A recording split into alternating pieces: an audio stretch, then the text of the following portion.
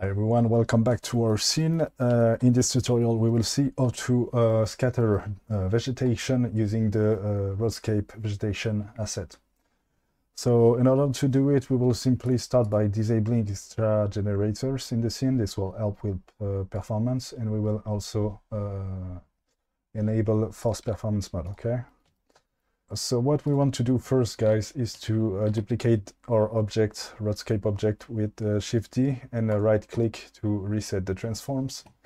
We can hide the original object and uh, go out of performance mode. Once we are there, we want to uh, simply uh, click on display terrain only. So this will uh, remove the road, as you can see and uh, anything else than the terrain and the support mesh. And you want to scroll down to uh, optional. And in optional, you want to uh, uncheck output, output subdivide the, the paths mesh for markings. Okay. So once uh, this is done, uh, we only have our terrain here and we can do a control A visual mesh to geometry.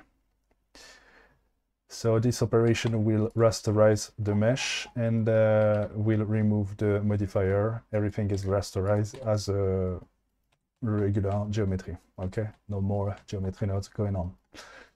So we needed that because we will need to uh, merge this uh, mesh uh, with the vegetation uh, asset. So now that we have done this, we can bring the vegetation asset into the scene. And as you can see, it comes with uh, two, uh, three collection, a real trees mesh with a bunch of real trees, trees billboard with a bunch of trees billboards, and a grass, which is just a grass mesh, and the vegetation scatter. So we are not going to unselect this, and we are simply going to do the usual Alt S, Alt R, Alt G when we uh, import stuff into the scene. And everything is centered into uh, the center of our, our um, scene. So now we want to uh, close the, the collections and we want to uh, select the vegetation scatter. We need to merge the rasterized terrain with the vegetation scatter. So the way to do it, you simply uh, select the roadscape terrain, uh, rasterized terrain first, and then you do a control click and you select the vegetation scatter next, okay? And then you can simply do a control G and it will merge the uh, rasterized uh, terrain geometry into the uh, vegetation scatter object. So now if we select the vegetation scatter object and go into edit mode, we can see that it contains the rasterized uh, terrain geometry. Okay, very good. So now uh, what we need to do, we need to open both of the uh, vegetation scatter modifiers and input the roadscape object inside them, okay? The next thing we want to do we want to select the roadscape vegetation scatter object and go into our asset library and select the remove terrain uh, tool that we will drop onto our uh, object okay? Now if we scroll down here in the modifier tab we can see that it added a tool which is the roads, roadscape remove terrain okay?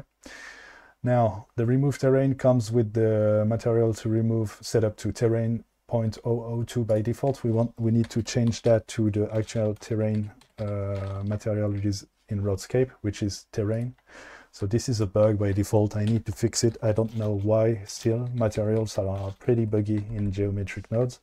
So you simply have to select the support as well here. Okay, so terrain and support. And now, as we can see, the vegetation scatter do not output anything anymore because we are removing the terrain and the support, which are the only piece of mesh that are uh, present in our um, vegetation mesh yet. So we can just do it like that. What we can do, we can show the uh, roadscape original um, object uh, again and go out of performance mode. This will help us see the actual terrain of the object, the roadscape object, okay? We can select back the vegetation scatter and go into uh, weight paint mode, okay?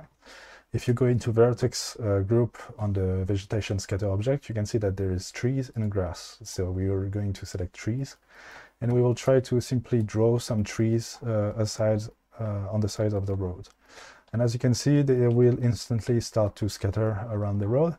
The good thing with the scatter is that you can uh, go over the road and the it will never scatter uh, stuff uh, over the road. It will always do it uh, outside on the, the outskirt of the, the road itself. And so this is basically how you can scatter uh, vegetation in roadscape. You can just uh, simply go around and scatter geometry like that. Uh, so yep, this is for the trees. Then you can just select the grass vertex group and do basically the same. You can just go and put some grass. And uh, let's get rid of our uh, wireframe. And as you can see it, we have our geometry that is scattered, okay? So the scattering uh, of uh, vegetation in roadscape uh, take in account the distance from the road. So as you can see, you can see you have a LOD beyond. This is the the info you, you want to change if you wanted. So LOD beyond tells the system that uh, beyond uh, 15, 15 meters uh, from the road geometry, the vegetation will start to spawn uh, LOD's uh, billboard geometry, as you can see here, okay? So this is basically how it works. There are a lot of options in the scatterers. You can always move the seed. This is the main one, the most useful one, I would say. You can change uh, the seed so that you can change the, the scattered uh, vegetation. You can also uh, change the max uh, density, the mean density. I would not recommend touching that. There is no reason. You have a density multiplier, which which is on top of the max density. So by default, it's 3.5. You can always reduce it or increase it, and it will simply change the density of the spawned vegetation. Uh, there is a rotation seed. You can change the rotation seed the rotation is random, is randomized uh, between each instance. You can choose the max scale and the mean scale, okay, of your uh, trees. And then you have the instance z offset. This will simply uh, offset on the z-axis by how much they stick out of the terrain or not.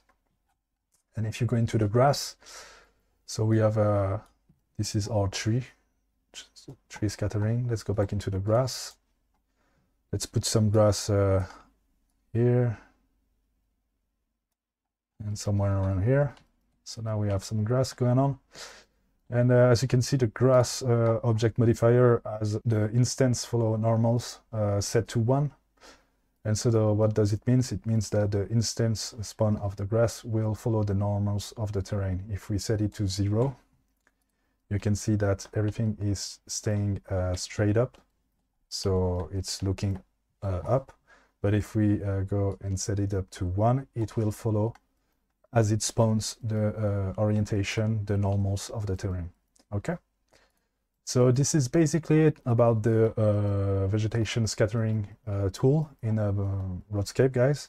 As you can see, it's pretty uh, straightforward. There is a bit of manipulation you have to do with the terrain rasterized and merging uh, correctly uh, inside the scattering tool at first, but uh, you can see that it's pretty easy to use.